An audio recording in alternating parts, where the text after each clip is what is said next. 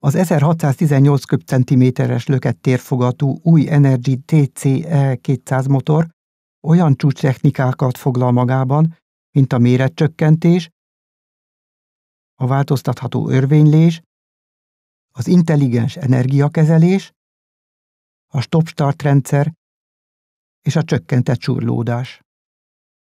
Az M5MT motor használati költségei alacsonyak, az alacsony üzemanyagfogyasztás és a CO2 kibocsátás miatt, emellett a vezérműlánc csökkentett karbontartási költségeket biztosít.